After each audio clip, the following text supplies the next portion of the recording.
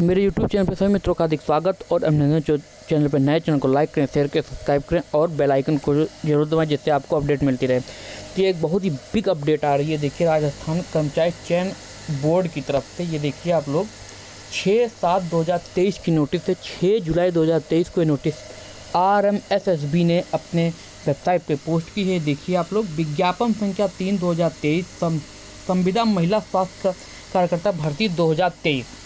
तो ये देखिए राजस्थान संविदा भर्ती नियम 2022 के अंतर्गत राष्ट्रीय स्वास्थ्य मिशन चिकित्सा, स्वास्थ्य एवं परिवार कल्याण विभाग के लिए संविदा महिला स्वास्थ्य कार्यक्रम जिसे एनम कहते हैं, के गैर अंश नॉन एस टी क्षेत्र के लिए टोटल दो हज़ार अट्ठावन पदों पर केवल महिला अभ्यर्थियों से आवेदन आमंत्रित किए जा रहे हैं।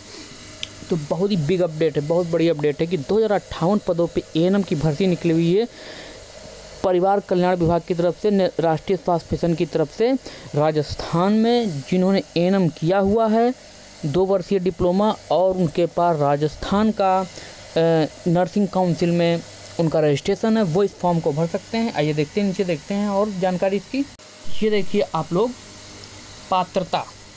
और ऊपर देखिए आप लोग वेतनमान आपका तेरह हज़ार एक सौ पचास रुपये प्रतिमाह इसका वेतन होगा। और ये देखिए आप लोग educational qualification tenth standard with auxiliary nursing में एडवाइसरी ट्रेनिंग पब्लिक हेल्थ वर्ग फीमेल कोर्स पास आपके पास टेंथ का सर्टिफिकेट होना चाहिए, उसके साथ आपके पास ए की डिप्लोमा होना चाहिए नर्सिंग में विथ ट्रेनिंग का जो डिप्लोमा वो, या फिर हेल्थ वर्कर फीमेल कोर्स आप पास किए हों तो आप इस फॉर्म के लिए एलिजिबल फॉर्म भर सकते हैं। और अथवा रजिस्टर और उसके बाद आपको register Rajasthan nursing council as a grade B nurse grade B nurse के रूप में राजस्थान नर्सिंग काउंसिल आपका रजिस्ट्रेशन होना चाहिए। तो आप लोग जो है फॉर्म भरिए। बहुत ही बेहतरीन फॉर्म है। ए का फॉर्म है। आप लोग फॉर्म भरिए और उसके बाद अपनी तैयारी कीजिए और और उसके बाद तैयारी करने के बाद आपका पेपर होगा। पेपर दीजिए। थैंक यू सो मच बहुत बहुत धन्यवाद।